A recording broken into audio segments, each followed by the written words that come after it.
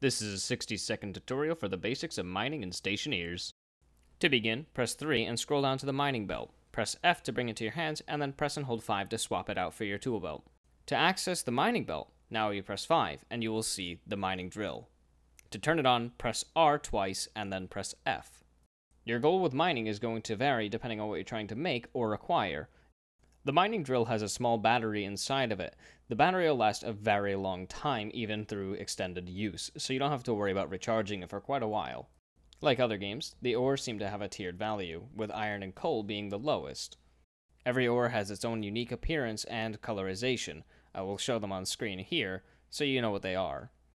Be careful when mining because you may fall into a cave and damage your suit. Now don't worry because you can take out your duct tape and repair your suit rather quickly. Volatiles, oxides, and ice will melt in your hands but not in your tool belt. This will conclude the 60 second tutorial. Thank you for watching.